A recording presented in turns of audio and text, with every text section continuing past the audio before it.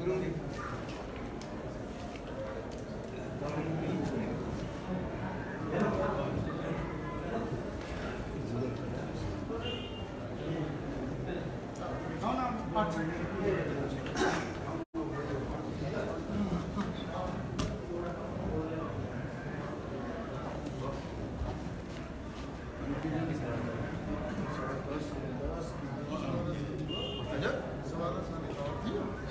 सुरु गर्छु ल पत्रकार मित्रहरू यहाँलाई थाहा छँदैछ हाम्रो पार्टीका श्रद्धेय अध्यक्ष एवं पूर्व प्रधानमन्त्री श्रद्धेय कमरेड प्रचण्ड पुष्पकमल दालज्यू चिनिया कम्युनिस्ट पार्टीको औपचारिक निम निम्तोमा चार दिने चिनको चाहिँ भ्रमणपछि आज स्वदेश फर्किनु भएको छ।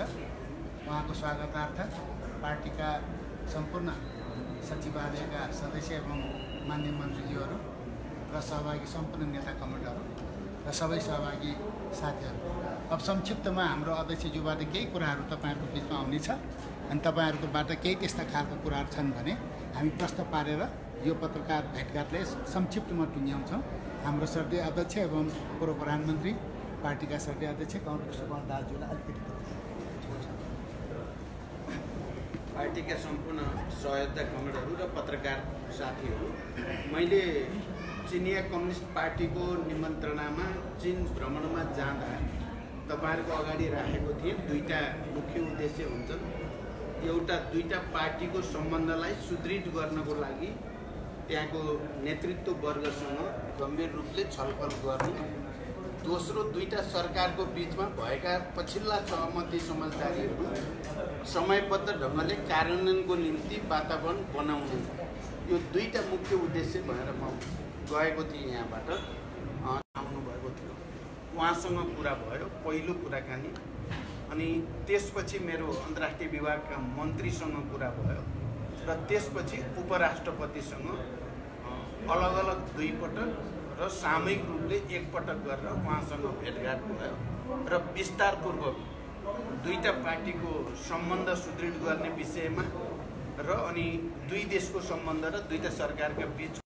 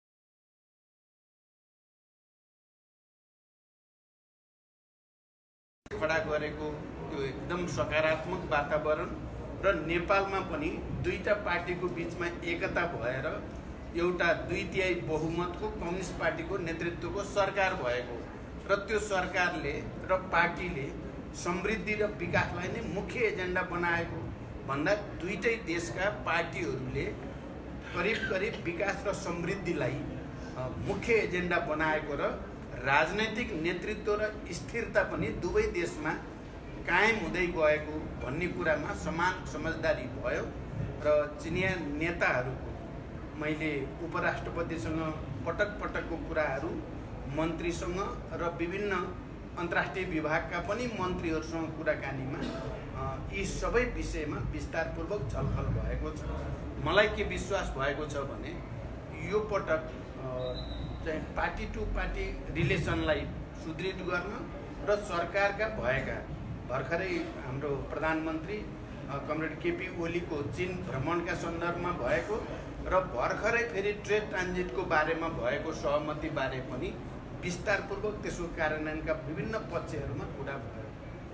अनि मुख्य विषय भएर जो आज त्यो अन्तर्राष्ट्रिय शान्ति दिवसमा सम्बोधनको कुरा थियो। मलाई त लाग्छ तपाईँहरूले पनि सुनिसक्नु भयो होला त्यो सम्बोधन।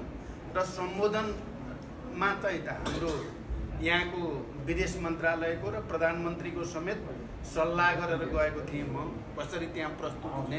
यहाँ किन देशकै कुरा हुन्छ। प्रभु प्रधानमन्त्रीको हैसियतले र पार्टी अध्यक्षको हैसियतले प्रस्तुत हुने कुरा भनेर तयारी गरेरै गएको थिएँ।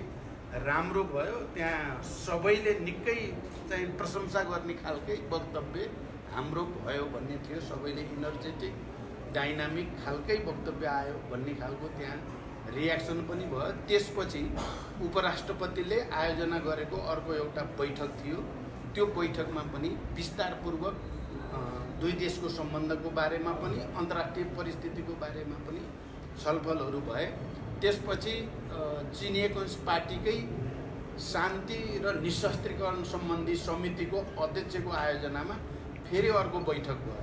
र ती सबै बैठकहरूमा त्यहाँ शान्ति दिवसमा सहभागी मुख्यतः जापानका पूर्व प्रधानमन्त्री फ्रान्सका पूर्व प्रधानमन्त्री अनि कोस्टारिकाका पूर्व राष्ट्रपति अनि मङ्गोलियाका उप प्रधानमन्त्री लगायतका नेताहरूको त्यहाँ सहभागिता थियो। र ती दुईवटा छुट्टा छुट्टै बैठकहरूमा पनि सबै नेताहरूको सामूहिक छलफल भएको थियो। यसरी समग्रमा नानकिङलाई केन्द्र बनाएर जे उद्देश्य राखेको हो त्यसमा सफल भएको मैले महसुस गरेको छु। धन्यवाद। राष्ट्रपतिलाई भेट्नु भएन किन राष्ट्रपतिलाई भेट्ने सुरुमै योजना थिएन। हामी नानकिङ जाने थियो उपराष्ट्रपतिसँग भेट्ने थियो र मन्त्रीहरूसँग भेटेर सबै कुरा गर्ने भन्ने थियो।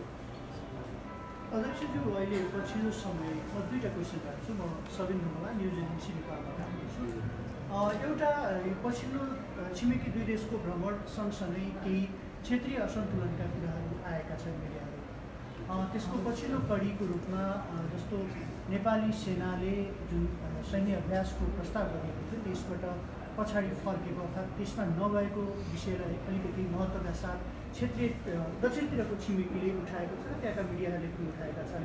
यसबारेमा तपाईँको टिप्पणी के हो? एउटा।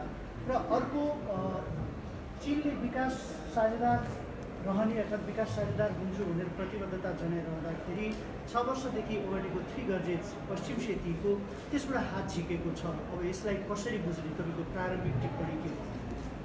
अब यसमा पहिलो विषयमा सरकारले र पार्टीले आधिकारिक रूपमा धारणा प्रस्तुत गरि नै सकेको हुनाले मैले त्योभन्दा मेरो अलगै कुनै धारणा छैन। सरकारले जे व्याख्या गरेको छ मेरो पनि त्यही नै व्याख्या हो। दोस्रो विषयमा थ्री गर्जेज र वेस्ट सेतीको हामीले पर्याप्त छलफल गऱ्यौँ। केही टेक्निकल्ली प्रस्तुतिमा केही कमी भयो भन्ने महसुस सहित थ्री गर्जेजलाई नेपाल सरकारले हटाएको होइन।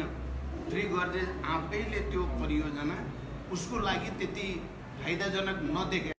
सरकार र पार्टीमा पनि छलफल गर्दा त्यो निधो प्रमाणित भएको थियो। त्यसकारण त्यो हाम्रो समस्या होइन। त्यो थ्री गर्जेजकै विषय हो। धन्यवाद है। एउटा एउटा अन्तिममा सँगै छेउमा संविधान सभाका अध्यक्ष पनि हुनुहुन्छ। आज संविधान दिवस संयोगले पनि हामीले कहीँ हर्षोल्लास साथ मनायौँ कहीँ कालो दिनको रूपमा मनायौँ यसबारे तपाईँको टिप्पणी के हो? अब पहिलो कुरो त संविधान दिवसको उपलक्ष्यमा मैले चिनमै पनि सबैलाई बधाई र शुभकामना भनेको थिएँ। एकचोटि फेरि यहाँबाट तपाईँहरूको यो पत्रकार भेटघाट मार्फत आम नेपाली दिदीबहिनी दाजुभाइ देशभित्रका देश बाहिरका सबैप्रति हार्दिक बधाई र शुभकामना व्यक्त गर्न चाहन्छु। यो त संविधान घोषणा गर्दा पनि तपाईँले भने जस्तो केही केही त समस्या देखिएकै थिए तर मलाई र हामी सबैको लागि खुसीको कुरा के हो भने यो संविधान अनुसार निर्वाचन प्रक्रियामा सम्पूर्ण नेपालीहरू सबै राजनीतिक शक्तिहरू सहभागी भइसकेको स्थिति छ र त्यो अनुसार सरकार गठन भएर सबै नै फेरि विकास र समृद्धिको एजेन्डामा केन्द्रित भइसकेको स्थिति हुनाले अब एकाध विरोध आलोचना भनेको कुरा त एउटा डेमोक्रेसीको गहना नै हो। अलिअलि आलोचना भएन भने त डेमोक्रेसी पनि सायद धन्यवाद है।